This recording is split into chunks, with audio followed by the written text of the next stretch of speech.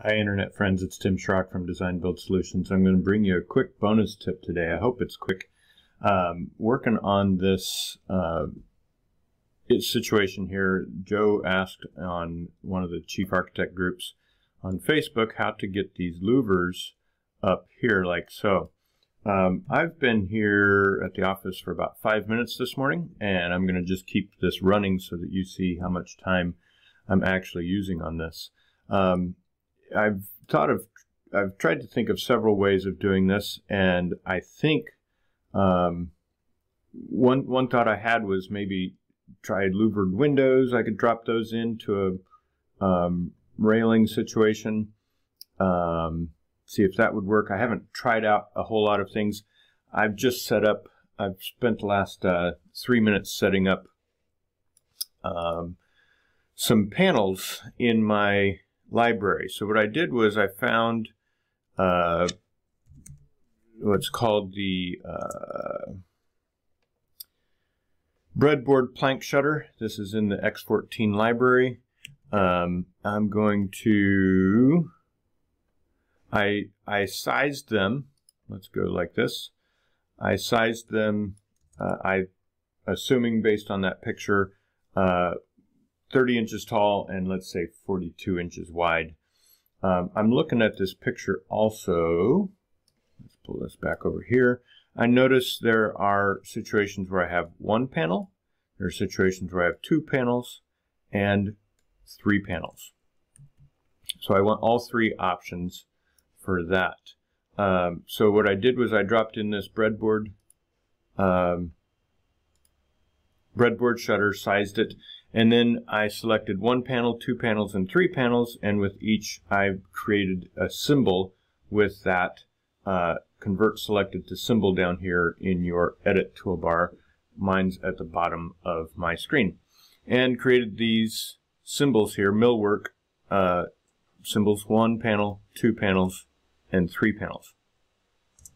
Let's see how we can do this. I did set up a quick um, model showing two levels with decks and balconies here. Um, you know, if you want really specific panels there, um, you may have to create your own symbol, but I'm just doing this for uh, speed's sake. I'm going to select these railings and I'm going to open them. To me, it looks like these are approximately 8 inch um, posts. So I'm going to make my wall 8 inches. I'm going to go to my newels and balusters, make those 8 inches. I'm going to go to my rail style and post to beam like so. And I'm going to make my rails, the beam, let's say 8. And to me that looks like maybe uh, 6 tall and I'm going to uh, da, da, da, go to the rail style and go panels instead of balusters. Um, let's say this is height uh, 9 foot ceiling minus 6 inches, so 8 foot 6. And I'm going to set my rails here and raise bottom rail um, uh, let's see. So what I'm trying to think is this line is nine feet. The bottom of that beam is nine foot six. I want this panel to be 30 inches tall. Uh, so that's eight six. I'm just thinking out loud. And so uh, this is another two and a half feet so that is 9, 6 feet 0 inches.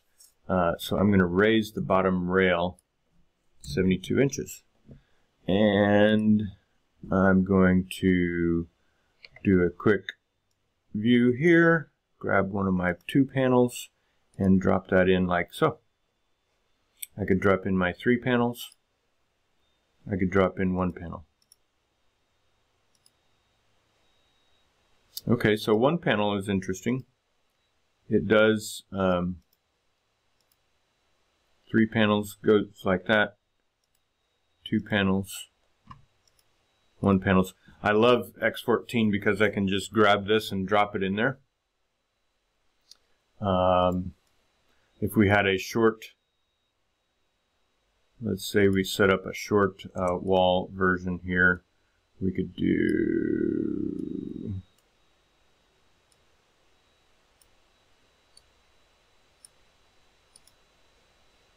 we could do our one panel here like so. I've been recording for five and a half minutes. I spent five minutes before that uh, setting up the panels and the um, symbols. Um, if you want it specifically looking like the louvers you've got there, we'd have to set up a actual um, symbol, uh, but I don't think that would take too awful long e either. All right. Hope this is helpful. Uh, hope you learned something new. If you click like and subscribe uh, and hit the notification bell, you'll get notified each time I drop a video. Have a great day. Take care.